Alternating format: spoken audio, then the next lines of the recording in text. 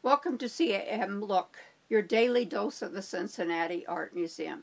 Each day, a staff member will be sharing with you an object from the permanent collection. Please check back at 10 a.m. every day for a new work and a new chat. My name is Kristin Spangenberg, and I'm curator of prints. I'd like to share with you a tribute to an artist I had a chance to spend an afternoon with in Tokyo, Japan.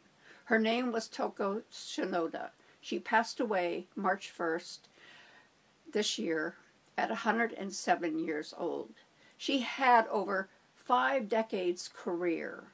She was born in Manchuria in 1913 and returned to Japan and grew up in Gifu, our sister city. she was trained by her father, who was a passionate calligrapher and follower of Chinese poetry. This discipline led to her knowing how to do um, calligraphy, one stroke at a time in a particular order. she came to the United States in the mid 1950s and was introduced to the abstract expressionists Pollock, Motherwell, Rothko. And that led to a new direction in her work, combining calligraphy and abstract expressionism. She is not a school, but an independent artist, and made her way in a male-dominated art world.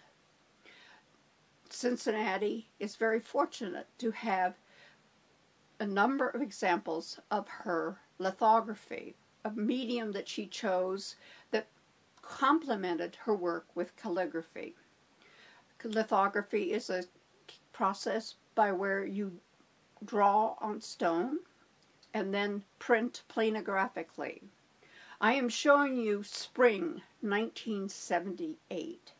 Note that there is a rectangle of four strokes and then a vertical strong black stroke. And then in the upper left are five or more strokes that are in green, which she added to the print after it was printed.